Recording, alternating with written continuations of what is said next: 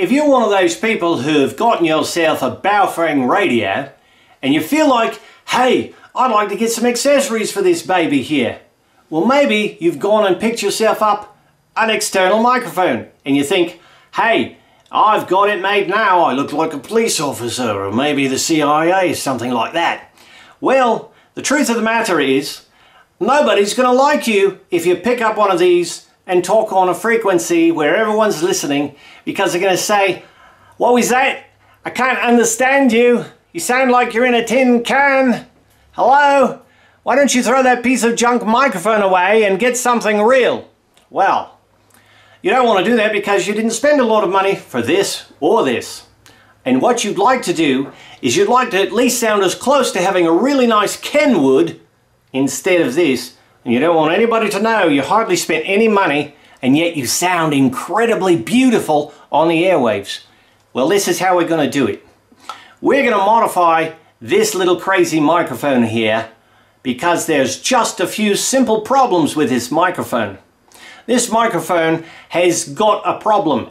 It's got a teeny hole that's not in front of the electret condenser and what happens when you speak into it, it bounces the sound all the way around inside before it ever really decides to go into the microphone itself. So you sound like you're underwater with a pillow over your mouth and speaking through a tin can. We're going to fix that, so stay with us as we make your Baofeng microphone as close to a Kenwood as possible. What you're going to need is uh, two simple tools. A pair of scissors, small ones of course, and a little Phillips screwdriver unless of course they change the types of screws that they use on the Baofeng microphone. So, generally when we order Baofeng microphones they come in a package similar to this one here. So let's go ahead and tear it open. Now these microphones sound terrible when you buy them. It sounds like they're in a tin can and it sounds like you're talking through a pillow. Why is that? Oh, and look, pay close attention to what they come with. They come with this little foam wrapper, usually. If you don't get that, go find yourself some because we're going to need it for the project. So we'll set that aside. Here's the microphone. It's for your Baofeng microphone or your radio. Open the baby up. Bring the microphone out. Do whatever you want with a plastic bag. If you will notice, this microphone it has a very teeny hole. They put a tiny little hole right there. And that tiny little hole unfortunately is not on the inside in front of the electret condenser, the microphone element. It's somewhere down below because they don't want rain to get on your element. So if you want a microphone that sounds terrible but resists the rain, this video is not for you. But if you'd like to take your Baofeng microphone and actually make it sound good and not like a piece of trash, then this video could be useful for you. Here we go. The first thing we're going to do with this is we're going to turn it over and we're going to remove the screws. One, two, three. This particular microphone is come with uh, Phillips screws. I've noticed that some of the microphones in the past haven't got Phillips, they've got like a star. So that's where this little baby comes in handy. Let's go ahead and take the screws out.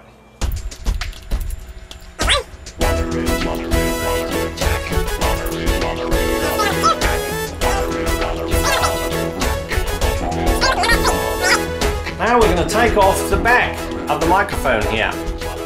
Pretty simple, huh? There's the back. Set that aside. Now you've got a push to talk switch here. It just sits in there. It's got a little silicone plunger. Don't lose that because that's what pushes down on the push to talk button right in there. See that push to talk button there in the center? That's it. This is what pushes down on that. Let's set that aside. Now these circuit boards sometimes come with a screw here and a screw up here. Sometimes there's no screws whatsoever and they just put a melted piece of plastic there and there to secure this thing. Other times there might be a screw somewhere else as well. Depending on the model of Baofeng circuit board you have, they come in various different ones. But this one is pretty simple. One screw. Let's undo the one screw. This will expose the other side of the circuit board. The circuit board, pay attention to the fact that you have wires here. You don't want to pull any of these wires loose. The last two wires on the end here are the ones that go to the actual speaker. See where that hole is right there? That hole right there is the wrong spot. It needs to be a little more up higher right in there. So this particular electret condenser element that we have right here on the other side of the board, of course, as you'll see there, that one is supposed to fit inside the microphone well here and there's supposed to be a seal around it. So if you really want to have a quick fix on this, go get yourself a rubber grommet that fits around the microphone element but snugly fits inside of this. Well, since we don't have that right now, we're going to use what we do have, that comes with the microphone. Also pay attention here. They do uh, skimp a little bit on their time when they're putting these together. These right here happen to be the, um, the remainder of the LED. Little solder terminals here. Uh, it's probably not a good idea to leave loose wires floating around in your microphone and they certainly have done that so what we're going to do here is uh, we're going to try and pull these babies up. Those little pieces of metal there. We're going to twist them back and forth until they fall off because it's not a good idea to leave bare wires floating around inside a circuit board. Big long ones like this. Bad practice, so we're going to move them back and forth until they get loose, break them off and toss them. Okay, so again, same here move that piece of metal back and forth like this because we don't want to short our microphone or our radio out and that is a great culprit for doing such a thing so just keep moving it back and forth until it gets loose and then pull it off. What I'm going to do now is I'm going to drill a hole right in the middle of where I know that microphone element is supposed to have a hole.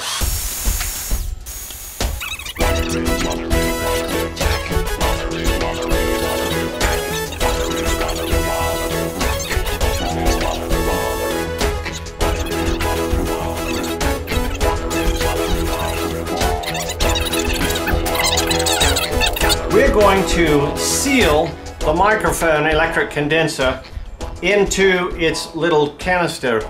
They've got a little barrel in there that's been mold injected into the uh, into this part here, right behind here. And take a close look, of course. if you can see, right here in front of my finger is that round barrel that that electret condenser fits down into. Now the mistake they've made engineering wise is they don't seal the microphone into this and so when you speak into that, into their hole that's off to the side, the sound comes into the microphone body, it bounces around, it causes a lot of echoing, a lot of muffling before it actually gets to the electret uh, element. So what we're trying to do is have a direct connect from the hole to the electret element with absolutely no body audio interfering. And so how we're going to do this is, remember I told you to hang on to this. So this is what we're going to do. We are going to take and we're going to place this over the electret condenser microphone piece. And we're going to also let it overlap the circuit board, oh say by about uh, an eighth of an inch or a quarter of an inch all the way around. Now if you can see underneath here is the electret condenser what I'm going to do is I'll use my fingernail to score around the foam here against the body of the microphone itself to cut a perfect circle around the electret condenser microphone. Now be careful not to tear off the black felt because the black felt is important to keep the popping from occurring. But you see what we've got here is we've now got a piece of foam on the other side of the circuit board with a little bit of overlap on the edges here. And now I'm going to take my small scissors and I'm going to trim on the outside edge, not right against the circuit board, but leaving a little bit on the outside, about an eighth of an inch or so. And then I'm going to cut in, we're just going to finish off by leaving a little square. So there you see it, we've got a small square of foam here. We have the place where it mounts here. Notice that there's not going to be any interference of the foam at that point, but over here is where the screw goes. So we're going to take and cut a little nibble where the screw is supposed to go, but do not cut so close to the microphone as you will damage the seal that you're creating for the microphone itself. And here we go. There you go, see that? Now the screw will be able to go in through there without compressing the foam. We don't want the foam compressed anywhere. What we're going to do now is we're going to do the same thing over and over again three times. We're going to lay another one over the top of this and do the exact same procedure. Then take that off and put another one on and do the same procedure so that we have three of these layers here. And then we're going to take and very carefully put the microphone back in with the three layers. I've already got one that I've put together with three layers. Just to make this video short, we're going to only use one layer just to show you how it goes back together, but make sure when you do the three layers, as you put it back together, that you don't let one of the layers cover the microphone itself. So you're going to have to hold that in place while putting it back in. And oftentimes I'll do that with a pair of scissors just to hold the foam from being uh, from getting on top of the microphone element while putting it back together like so. Another thing to pay attention to, of course, when you put it back together, is there is an LED down here that has to go back into the case's hole. Oftentimes this LED does not like to cooperate, will bend, and you'll have to deal with it. So, pay close attention when you put it back together. So, to simply put it back together, what you want to do is fit this area here and also the very back here you have a speaker jack and you have your rubber end piece. Well it's a plastic end piece looks rubber. And you want to fit that into its notches so that it's nice and snug as well because the only thing holding that circuit board down is this black insert and this last screw up here. So now we put it back together by putting that one screw back in here like so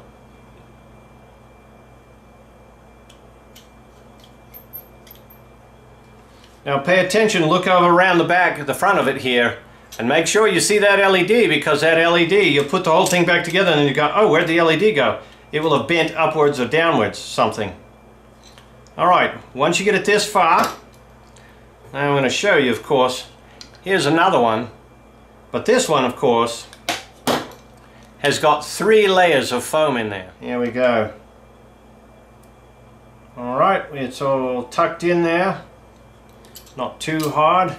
Now remember, there's a little silicone plunger here on your push to talk that touches the uh, push to talk button inside. You want to set that back in carefully and then you want to take the back of the microphone like so and place it back on.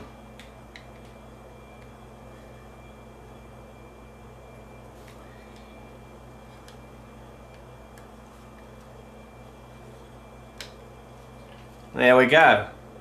Now we're just going to put the three screws back in and we'll have this baby all modified. Make sure the push to talk works before you can hear it clicking and then put your screws back in.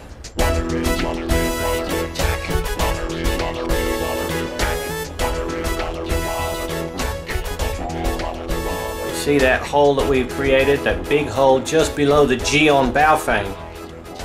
That is going to improve significantly your sound, plus of course we have sealed around the microphone now so that only the audio goes from the hole to the microphone condenser element and doesn't bounce around inside the body anymore. And there you have it. That's your modification for your Baofeng microphone. We're making a YouTube video on modifying a uh, Baofeng microphone and we'd like your input on two different microphones. Would you like to do that? Okay, uh, Corey, let, let me uh, take this for a second, or maybe Corey can participate as well. We'd love to have Corey participate as well. Well, I'll tell you something now. Whatever you're talking on, a tin can and a string would probably be better. there you have it. Okay, we've got a great opinion on a stock Baofeng microphone. This is Radio A, and we will be switching over to Radio B with a modified Baofeng microphone. Uh, let's get Corey's opinion of this uh, stock garbagey Baofeng microphone first. Go ahead, Corey. Tell us what you think. I agree with uh, Jeremy there. Uh, you sound muffled, like you have uh, something in, front of your, your uh, face while talking uh, to the radio. Very good. All right, gentlemen, we're going to switch over to uh, microphone B and radio B, and you tell us how you think the next one sounds. Here we go. One moment. Okay, so now we're going to bring this radio online here.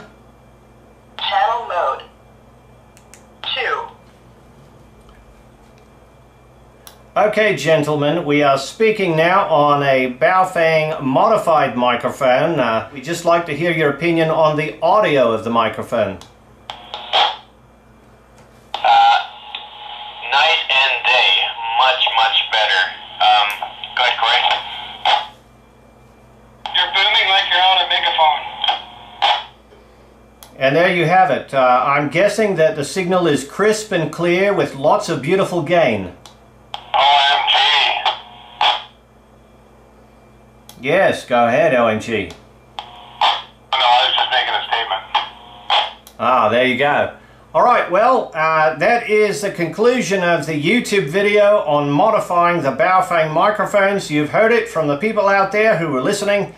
This microphone can be turned into an incredible mic that probably sounds as close to a Kenwood as possible. To do for me. WE7OMG clear.